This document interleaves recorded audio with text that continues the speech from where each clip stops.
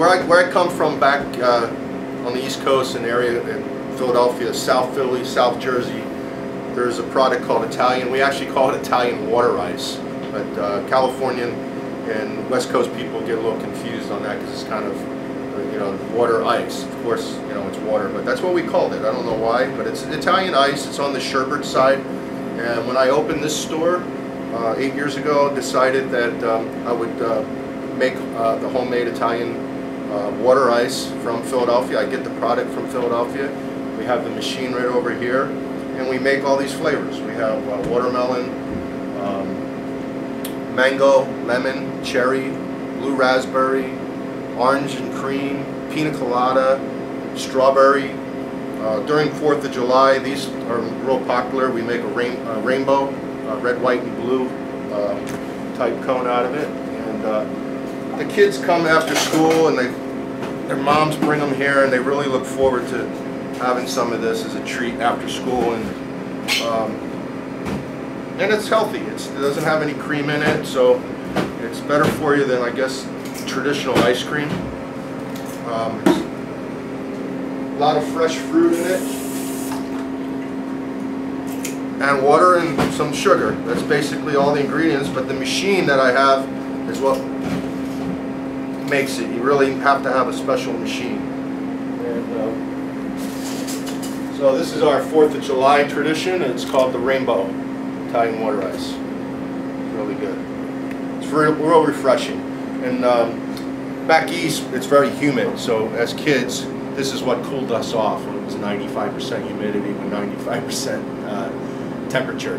So you needed to have some, some liquids in you. And this was a good way of getting refreshed.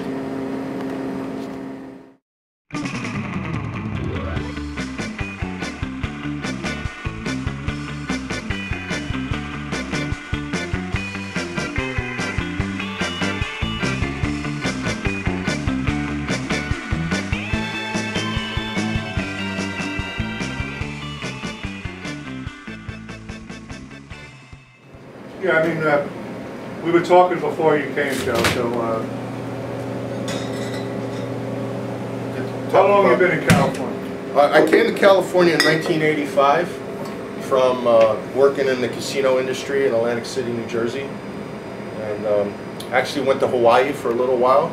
I was young, I was like in my mid-20s and I wanted to see Hawaii and I ended up living there for nine months working in the restaurant industry and management, things like that. Came to California and uh, I moved to, of all places, Sunset Beach. I found a little apartment and I've been there ever since, since 1985. So you started this restaurant then? Yes, I started in 1990 after being here five years, working in um, uh, several restaurant jobs and also the wine industry. So I was, and, and I was selling food products. So I was always in the restaurant industry. I started uh, back in, uh, in New Jersey outside of Philadelphia when I was 14.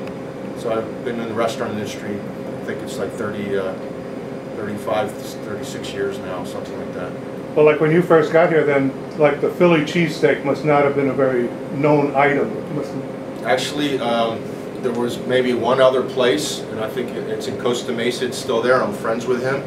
And uh, he was the only one, and his sister was doing Philly cheesesteaks in a little hole in the wall in Sunset Beach, and I used to eat there. And uh, she didn't like being in the restaurant business. She was looking to get married and have children, so uh, I talked to her and ended up buying her place from her, changing uh, the name to my name, and then adding and expanding the menu for what we have pretty much have today. And that was in uh, December of 1990. Um, had that store for nine years. Uh, during that nine-year time, I opened up uh, the Beach Boulevard location in Huntington Beach. A year or two later, I went and found the Golden West location. And then I had an Anaheim location near Disneyland for about nine years, and I lost that due to eminent domain. They expanded the street. I lost that location, and um, after that, I was just driving around, and I noticed this spot here. It was all closed up, and it was an old donut shop, and it said for lease. And I poked my head through the window. I made a U-turn first, got in here, and I go, oh, there's a hood over there. I said, this would be a perfect Philly cheesesteak place. And it was a mess because it was a donut shop for about 20 years. So, you know, there was a lot of donut grease to get off. And actually, I, I gutted the whole place and, and put the floors and all the tiles in and decorated it, added my own equipment, and uh, opened this uh, location eight years ago. When you first started out, John, did you face um, any kind of problems with people not being familiar with what a cheesesteak is?